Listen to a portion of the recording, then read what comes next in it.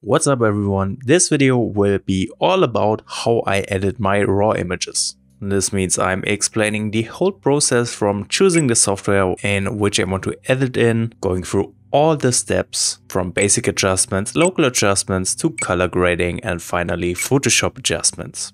And with those editing steps turning this boring landscape image into something more beautiful. So let's jump into it. Of course, the very first step is to choose the right software. For me, it's always the question, am I just editing one single image or do I have to work on a lot of shots?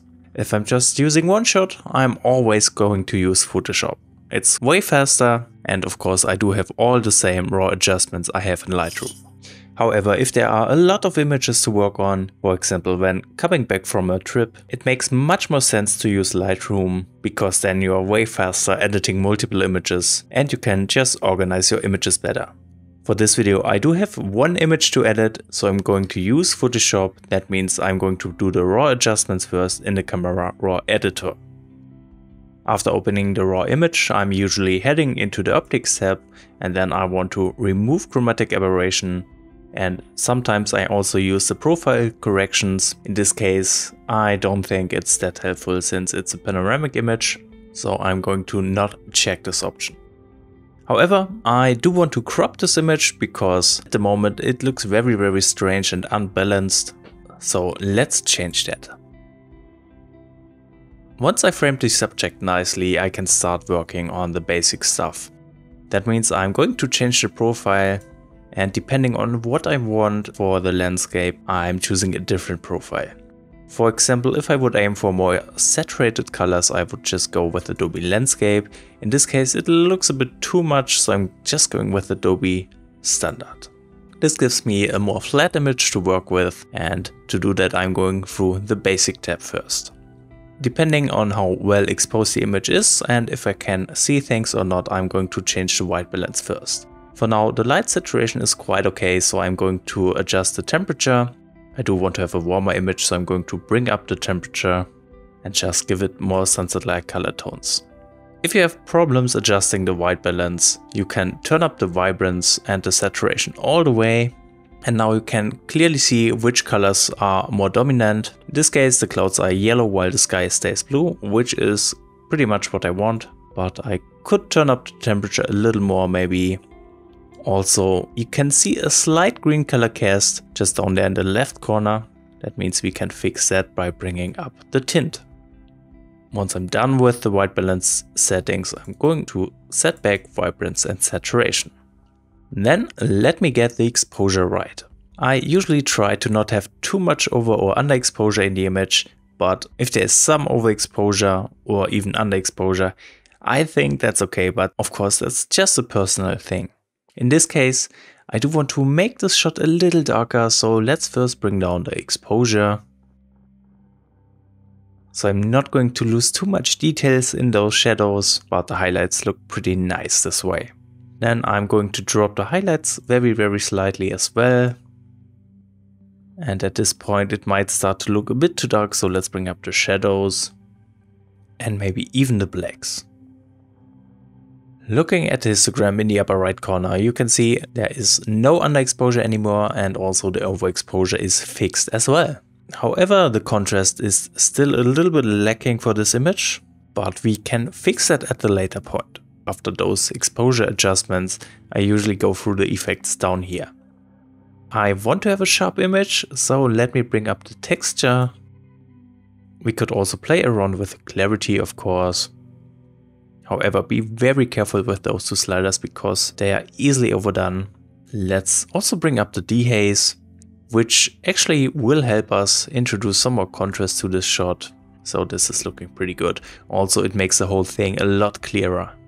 Again, this is a pretty heavy slider, so be careful.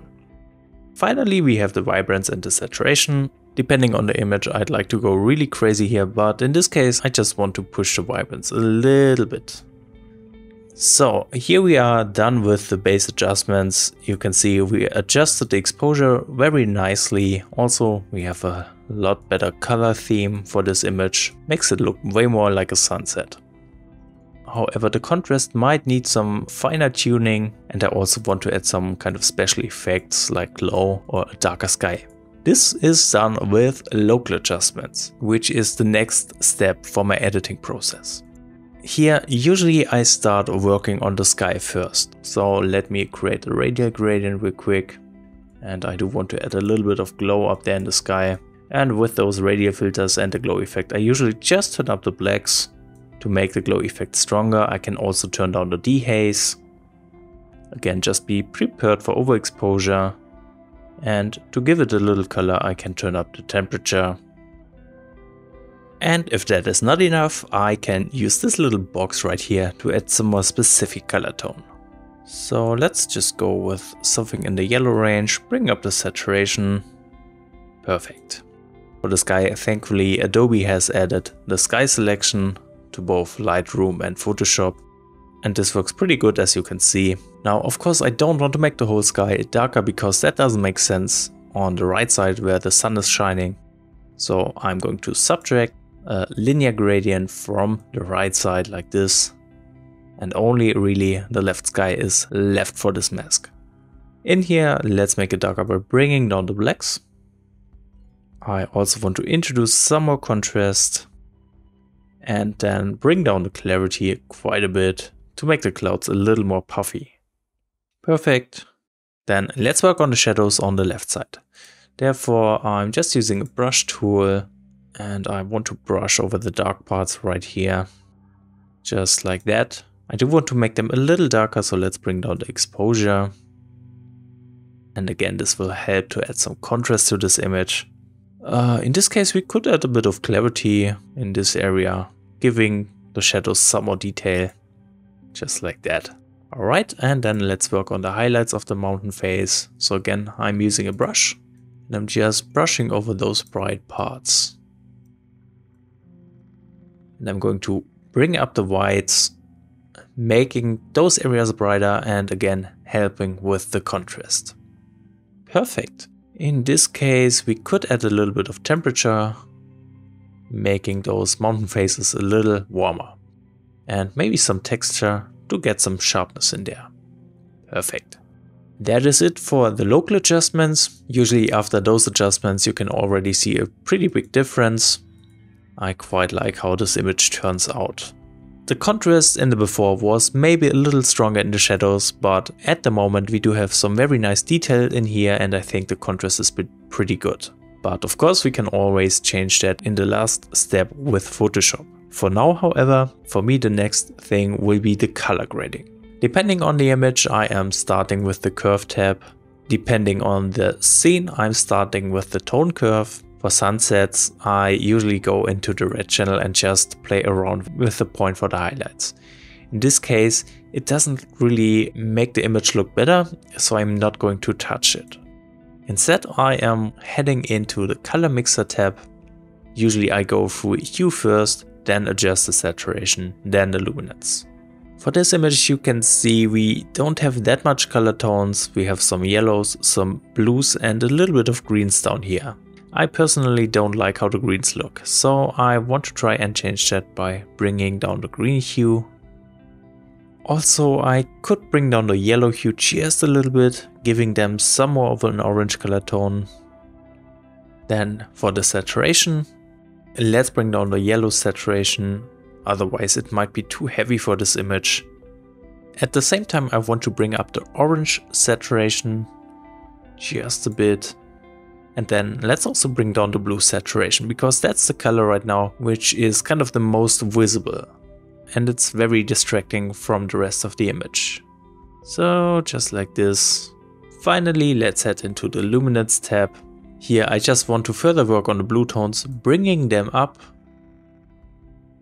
So the blue part of the sky just gets a little less attention.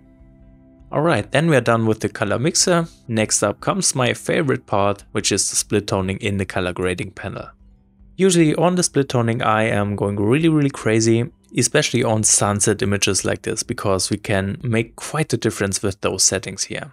First off, I always start with the highlights and I want to make them a lot warmer, so let's bring up the hue and the saturation. And you can see it especially in the bright part on the right side. We are adding a lot of colors here. So I actually want to bring down the hue a bit, giving them more orange tones. But I also want to bring down the saturation because right now it's a bit too much. So this is looking pretty good. After adjusting the highlights, I'm going for the shadows. Here, it doesn't really make much sense adding a warm color tone because this looks very very strange like an old image or something. I want to add a little bit of a cold color tone here. So you can see orange and blue works really really well together, but of course at this point the saturation is way too much. So I'm going to drop it quite a bit, just so we have a nice balance of colors. Perfect. Of course you could also adjust the midtones, giving them a warmer tone for example. I'm not sure if I want to do it for this shot. Maybe a little yellow in here, but really not that much. Then after the split toning, I often head into the calibration tab for some final color adjustments. At this point let me just say this is probably not the right way to do it, but I just think I can improve the colors of my images this way. Usually I'm just playing around with the blue primary hue and saturation. So for sunset images again I'm usually dropping the hue which will give the blue sky a little more of an aqua color cast and also will give the warmer color tones a stronger red color cast. At this point, if I'm still not happy with the colors, I can bring up the saturation some more to make them a little stronger but this is looking very very good. I quite like how this image looks. And at this point we are done with the color grading, at least in the Camera Raw editor. The only thing that's left is the sharpening in the detail tab. Here I'm always using pretty much the same settings. I'm going to drop the radius all the way down, increase the detail all the way up. Then I'm holding down the Alt key and adjust the masking slider. So I only want the subject to get some sharpening just like that, and then I'm playing around with the sharpening itself. And I usually get pretty good results this way, looks really sharp already. And once that is done, we are going into the final step of the post-processing, which is the Photoshop adjustments. So let's open up this object. Alright, the very first thing I'm doing in Photoshop is to get rid of objects or sensor spots or whatever. For that reason, I'm usually using the spot healing brush. I'm zooming in the image and just look for things like this spot right here. Can also get rid of this sunspot right there. Pretty easily done. Just look for distracting objects. This bright part right there might be a little distracting. By the way, to prevent sensor spots, it's a good idea to clean the sensor so there aren't any dust particles on it. I'm just a bit too lazy to do that, to be honest but at that point it looks pretty clean. Next, if the landscape does look strange, maybe because I was shooting it as a panoramic image, I do want to adjust that. Right now, let me drag down the guideline. You can see the mountains in the distance are a little bit skewed, because, as I said, this is this was shot as a panoramic image. That's the next thing I want to fix. So I'm duplicating that layer by hitting Ctrl J, just in case I mess something up. Then I'm hitting Ctrl T to bring up the transformation box, right click in here, and here I'm choosing Warp. To fix the skewed horizon, I'm just dragging around in this image, dragging those mountains up, as well on the right side. This way I'm just trying to get a straight horizon. I think that's good enough. So we can get rid of the guideline again and you can see that's a pretty big difference to before. Now we can work on a few special effects. You might notice I like glow very very much. In this case let me apply some more glow, therefore I'm always using a new layer and I'm changing the blending mode of that layer to either soft light or hard light, depending on how strong this effect needs to be. In this case I want to have a very subtle effect so I'm going with soft light. Then pick up the brush by pressing B and make sure the hardness is set to 0 and the opacity is set to around 10%. For the foreground color I'm using something with a very subtle warm color cast like this and then I'm just carefully painting over the bright spot adding some subtle glow to this area. And the more you paint in, the heavier the glow gets.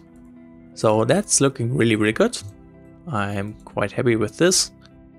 So next up, let's apply some dodging. This is usually done with an overlay or a soft light layer.